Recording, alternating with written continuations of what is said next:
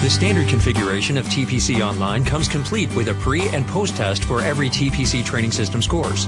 Our test bank is comprised of more than 6,500 questions that can help you determine the knowledge level of your students.